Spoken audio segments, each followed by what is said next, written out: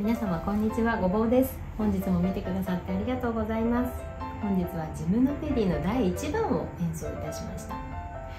ジムノペディという名称は大勢の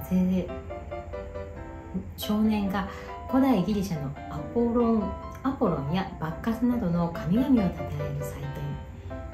ギュムノパイディアに由来しておりサティはこの祭りの様子を描いた古代の壺を見て曲想を得たと言われています。また一説には彼が愛読してやまなかったユスターブ・フローベールの小説「サランボー」からインスピレーションを得て作曲したとも言われているそうです。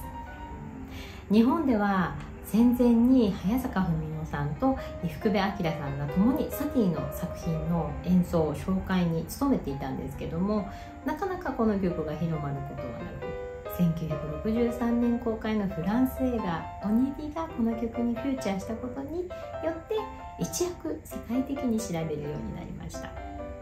この曲には気分を落ち着かせるヒーリングコアもあるとされて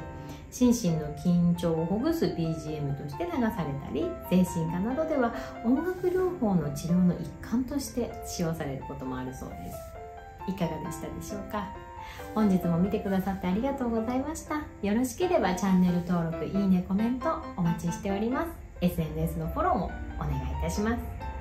それでは素敵な週末をお過ごしください。またお会いしましょう。